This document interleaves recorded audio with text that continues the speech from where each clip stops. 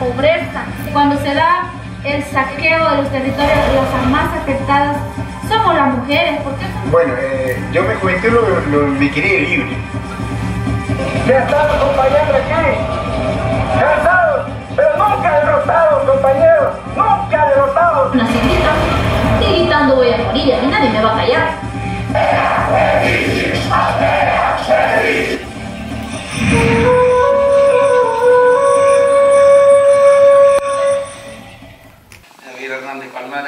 Bienvenidos, bienvenidas, del pueblo Guayú, soy yo. Em, un pueblo que está ubicado entre Colombia y Venezuela, un pueblo pues ocupado por, ¿no? por estos dos países. Em, pertenezco a la CLACPI, tenemos una comisión allí que es la Comisión de Política e Incidencia de la Coordinadora Latinoamericana de Cine y Comunicación de los Pueblos Indígenas. Em, esta organización viene tejiendo desde el año 85 procesos de reflexión, también de profesionalización en el tema de la comunicación y el cine, pero también haciendo visible qué es lo que implica para un comunicador, una comunicadora comunitaria, afroindígena, hacer este oficio. Em, que impliquen la violación sistemática de derechos, y ahí es donde tenemos también a las organizaciones hermanas como alternativa, que en ese derecho que tenemos como pueblos de relacionarnos o decidir cómo relacionarnos con otros pueblos, pues también se hace este festival. Pero no un festival que solamente tiene un buen criterio, una selección linda de, de películas, que no solamente son el testimonio de la capacidad narrativa de los pueblos, de contar sus propias historias, tiene que ver también, como lo dice Alton Krenak, por cada historia que contemos, vamos posponiendo el fin del mundo. Porque precisamente las narrativas que las cuales estamos tratando de seguir combatiendo, no copiándonos, sino proponiendo lo que sabemos contar y hacer, va en contravía a lo que es la hecatombe, las cosas apocalípticas, que siempre van en detrimento de las historias este, fundacionales. Libro sagrado, le mencionamos hace rato el Popol que también plantea este, lo que estamos viviendo en tiempo de pandemia. Planteaba un regreso, un regreso a pensar la tierra, la medicina tradicional, sostener la vida, gestionarla. Y esa narrativa es lo que también hace de que pensemos como movimiento de pueblos que estamos creando imágenes, sonidos, eh, de pensarnos, de, de que nuestro futuro es un retorno. ¿Sí? Y es precisamente hoy un 12 de octubre, que es también una gran construcción que hay que seguirle metiendo, ¿no? Y esa promesa que la misma, bueno, saludo a las organizaciones, a las colectivas, mujeres, personas, hermanas que están acá presentes, que también le están metiendo acá en territorio catalán, pues toda una, una construcción de sociedad y decir, bueno, ¿qué está pasando en Aviala? Eso saludo también. Y como para cerrar, eh, vamos a estar compartiendo varios espacios, bien lo mencionaba Olga, y nos gustaría que, que estén allí, se pongan su cinturón de seguridad porque van a disfrutar un viaje muy lindo ahorita, lo que vemos en las pelis, escuchamos también las palabras de la hermana, de la mayora, pero que sobre todo abran el corazón y la humildad para eso que eh, yo mencionaba del hermano Alton Krenak, que por cada historia propia que contemos vamos posponiendo el fin del mundo. Y ahí es lo que creo que deja también las grandes lecciones de los pueblos en tiempo de pandemia. Sí. Eh, y bueno, también todo lo que pasó en territorio cuando también nos, decían que teníamos que encerrarnos, también esas cosas también hay que hablar, ¿no? cuando hicieron violaciones sistemáticas de derechos humanos al líder en muchos territorios en América Latina.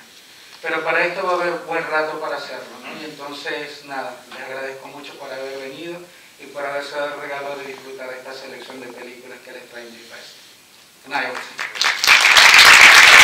a Nautília per exposar-nos tot el que implica les resistències dels pobles indígenes en un dia com avui, 12 d'octubre. Moltes gràcies per haver vingut i esperem que disfruteu. Gràcies. Soy Cholegil Chupere, Chishkunilesh. Un saludo cordial para todas y todos. En idioma maya Ching. Eh, un placer eh, estar acá en estos territorios. Eh, alternativa, gracias por la invitación. Estoy muy contenta porque sus luchas son mis luchas.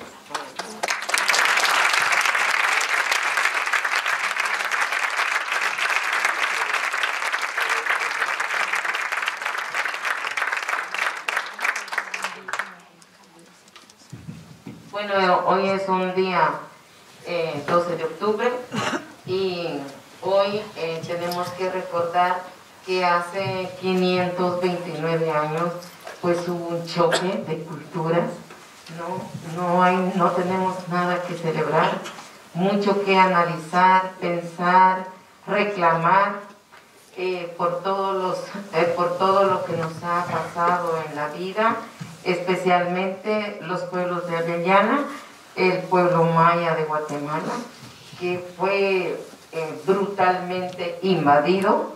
Y yo creo que las resistencias empiezan desde ese momento y seguimos resistiendo, vamos a seguir resistiendo contra este, estas imposiciones, contra estos colonialismos que hacen muchísimo daño porque yo no creo que a alguien le, guste esto, ¿verdad? Bueno, sí hay, porque lo vi en la manifestación, que gente que todavía le aplaude a estos sistemas eh, eh, que realmente matan, ¿no? Porque estos sistemas matan, los sistemas coloniales, fascistas, antidemocráticos nos están matando, nos están quitando cada vez, eh, nos restan años de vida, ¿verdad? Hoy lo vemos con el tema de la pandemia, ¿verdad? Que es una guerra biológica que ciertos países ah, eh, nos, tienen así como que nadie puede entrar a otro lugar sin, tener las vacunas, ¿verdad? Y, realmente ha matado a, muchas personas en el mundo, también así eh, desde donde yo vengo hay muchas muertes y, tampoco, digamos, eh, hay una total desinformación. Entonces, este, por eso es que hoy estoy acá y, realmente yo viendo todo esto, yo me quedo ya sin palabras. Porque los patrones eh, que de, las transnacionales, de lo, de lo que utilizan las, empresas transnacionales, eh, del sistema neoliberal están presentes. Eh, aquí es una muestra y yo también este, soy parte de eso, ¿verdad? Eh, soy Maya Erchi, guatemalteca, vengo de un territorio muy, pero muy bonito, es uno de los 18 eh, países del mundo megadiversos. entonces no solo en lo que es la biodiversidad, sino que también en lo que son las culturas, eh, vengo de un territorio donde hay se hablan 25 idiomas, 22 de origen maya, más el garífuna de la población afrodescendiente, la población xinca y la población no indígena o ladina, como lo llamamos. Y a pesar de, de los 529 años, hoy seguimos hablando.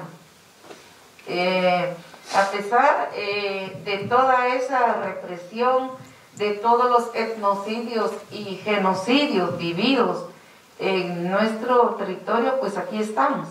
Y estamos y vamos a seguir estando y luchando y resistiendo por lo poco que nos queda. ¿Verdad? Eh, ya les decía, Guatemala es un país diverso, eh, lingüísticamente, culturalmente y étnicamente. Entonces hay cuatro grandes pueblos, el Maya, Garífuna, Xinca y Garín. Y, también hay una eh, eh, biodiversidad inmensa que tenemos que, que defenderla, porque es un deber como ciudadanos, como seres humanos de este planeta, porque solo tenemos un planeta, no hay más, no hay otro, y este lo tenemos que defender. ¿Ah? Porque lo que hacemos nosotros eh, es defender la vida. y no solo la vida de los mayas de Guatemala, defendemos a la humanidad, defendemos a las vidas de todo este planeta. Y por defender esa vida es que nosotros hemos sido perseguidos, criminalizados, encarcelados, reprimidos por los sistemas existentes. Entonces creemos que, que a pesar de, todo eso, pues vamos a seguir adelante, porque nosotros, eh, desde mi visión, digamos, de pueblo maya y la visión de los pueblos indígenas, nosotros somos un elemento más dentro del planeta, dentro del cosmos. Nosotros, eh, la madre naturaleza, la madre tierra, no nos necesita. ¿sí? Nosotros necesitamos de ella. Entonces, eh, es por eso que, se que hacemos las luchas, porque son deberes nuestros. y lo hacemos porque, porque realmente esa es nuestra visión, esa es nuestra cosmovisión. Para nosotros, todo, todo lo que existe está vivo, tiene vida. Pero el occidente nos ha dicho que la piedra no nace, no crece, no se reproduce, no muere. Y por lo tanto hay que destruirla. ¿Ah? Que el agua hay que convertirla en una mercancía. Que hay que comprarla. Que el aire también. Hoy, ante la pandemia, tenemos que recurrir a eso. No es posible. No, no es posible. Entonces, realmente hacer esta lucha de defender los ríos, los bosques, el aire, la roca y defender la vida misma, pues debe ser un compromiso de todos los ciudadanos de este mundo. ¿Sí? Todos los que habitamos este planeta. No tiene que ser solo de los pueblos originarios. No solo tiene que ser allá eh, donde nosotros estamos, tiene que ser de todo, tiene que asumirse el compromiso, ¿verdad? Porque nosotros lo defendemos, pero otros lo destruyen y nos destruyen a nosotros. No puede ser. Tenemos que propiciar ese equilibrio, esa armonía entre el ser humano y el cosmos. Nos enfermamos porque rompemos los equilibrios, porque no vivimos equilibradamente. Y tenemos que rescatar eso. Tenemos que aprender a vivir y a convivir, pero no solo entre seres humanos.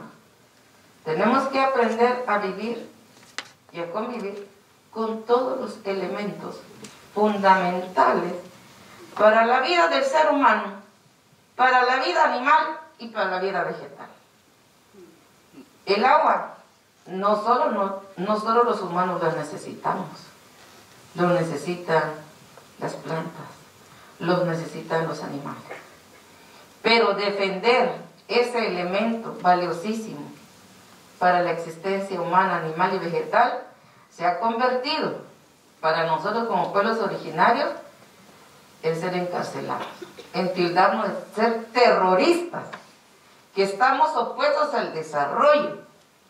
Claro que no nos oponemos al desarrollo, pero un desarrollo visionado desde nosotros, no por los otros. Eso debe ser el desarrollo. Nosotros no somos antidesarrollo.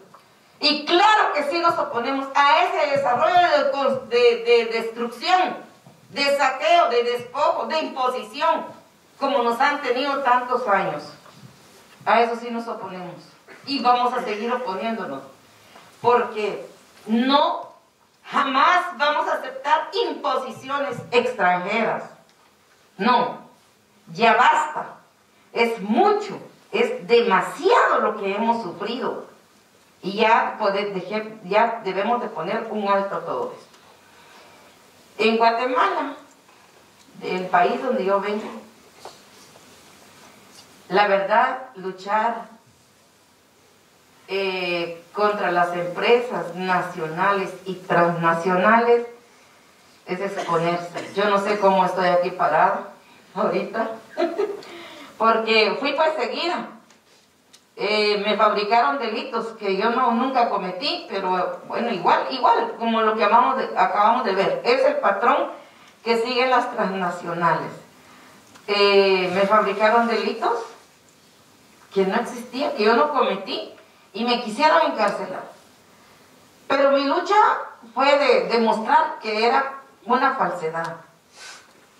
Y me enfrenté a, y sigo enfrentándome a una transnacional, como es la, la, la empresa Cobra de Florentino Pérez.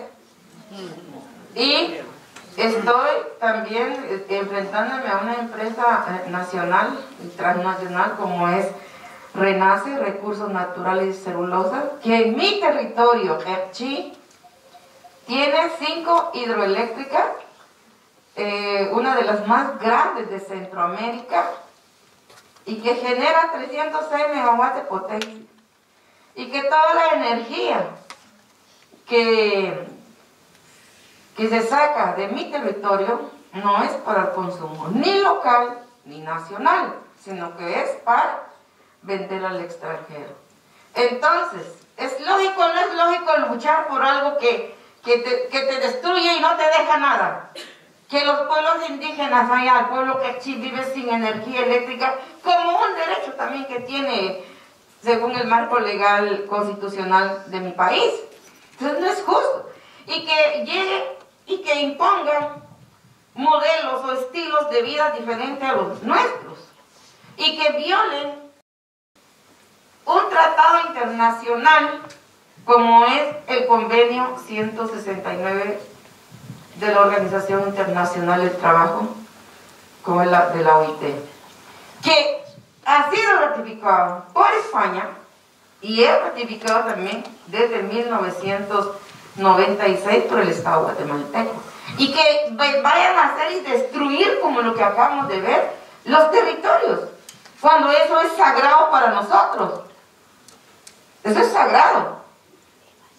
Entonces no lo podemos. Entonces, a través de, tus imposiciones, a través, eh, digamos, de, violando eh, normas eh, nacionales e internacionales, como el derecho a la consulta previa, libre e informada, pues a ellos les vale.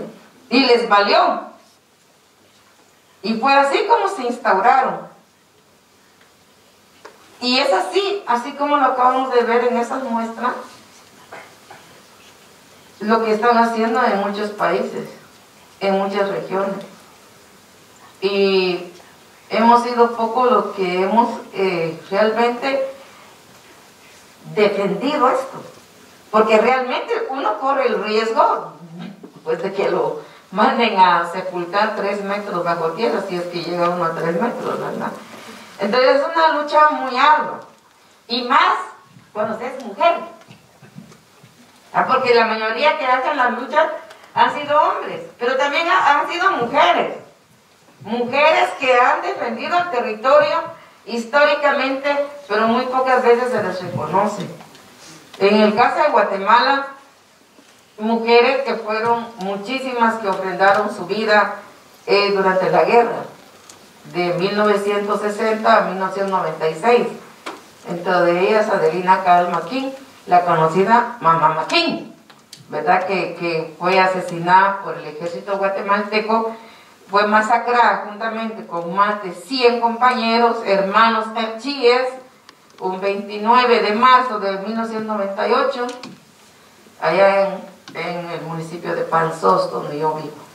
Entonces las luchas, los íconos de mujeres, están presentes en las luchas y estamos y vamos a seguir presentes.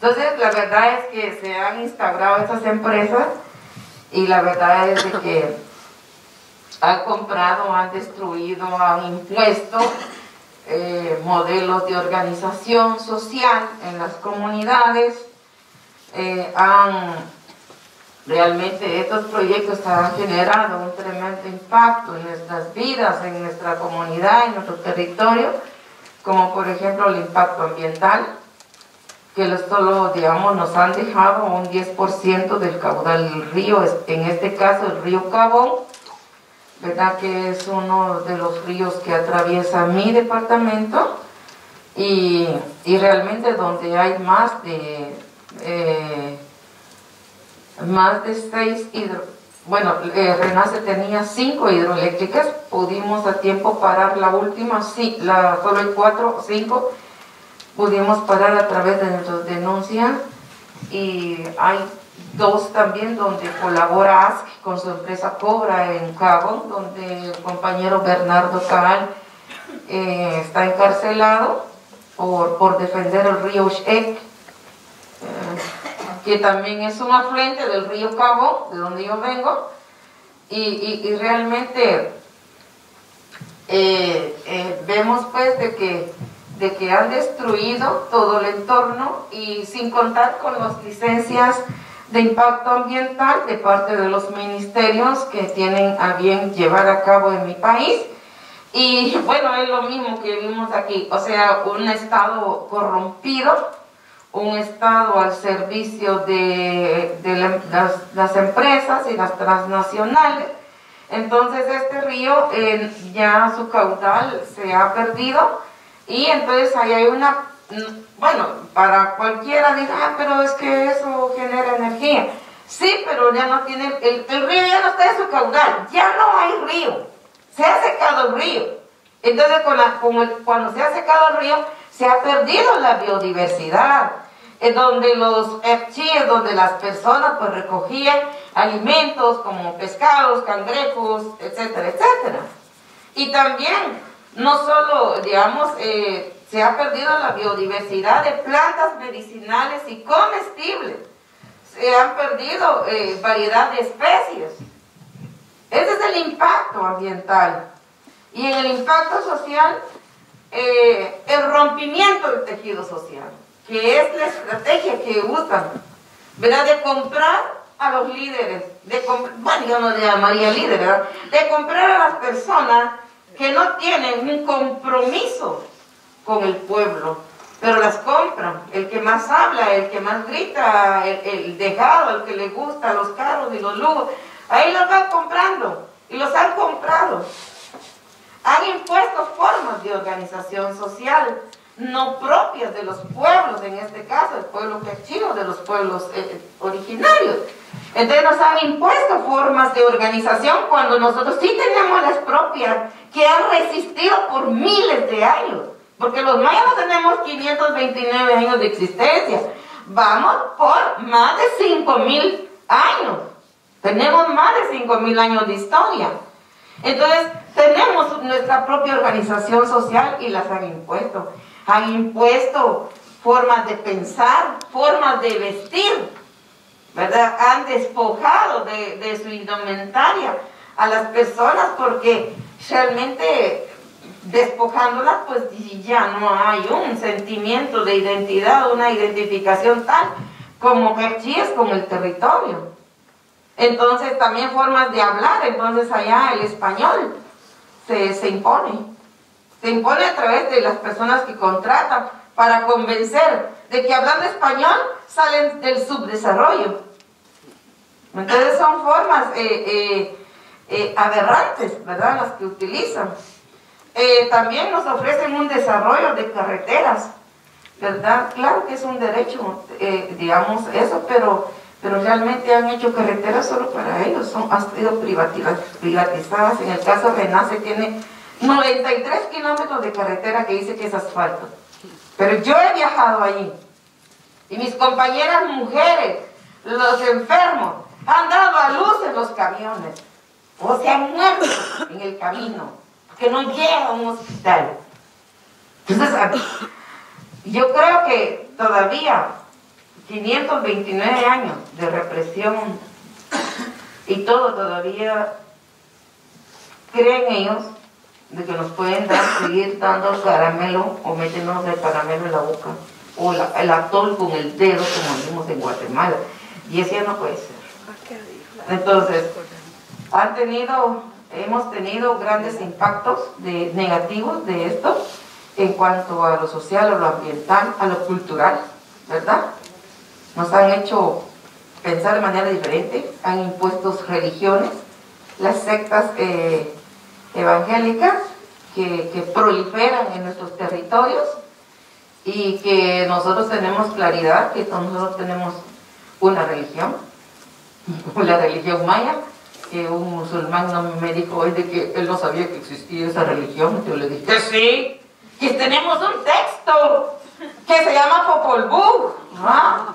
Entonces también, ¿hasta dónde llega la ignorancia? ¿verdad?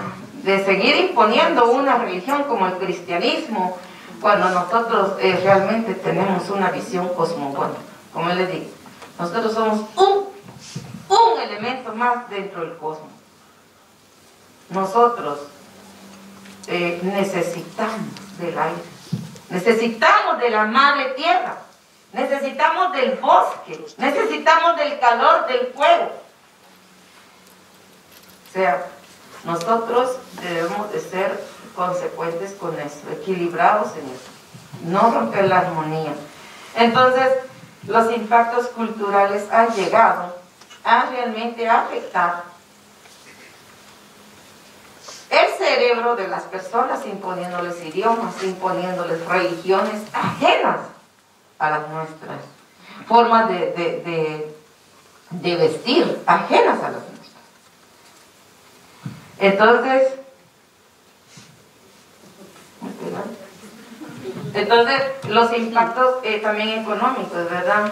Entonces, los impactos económicos entonces han tenido un, mucho que ver con esto y con nuestras luchas, porque eh, los pueblos ya no tienen nada que recoger del río, ya no se puede ir a recrear al río, ir a traer agua al río, ir a bañarse al río, ir a tener, ese, los ríos son nuestros lugares sagrados, son los lugares energéticos que tenemos nosotros, ¿sí?